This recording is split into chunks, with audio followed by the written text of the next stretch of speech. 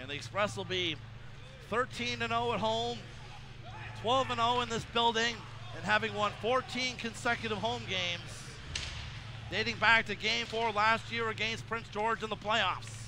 Bellini in the Penticton zone of the line. Wrist shot kicked out, rebound. MacDougall scores!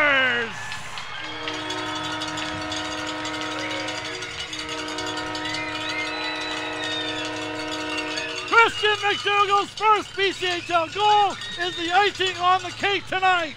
7 2 Express lead.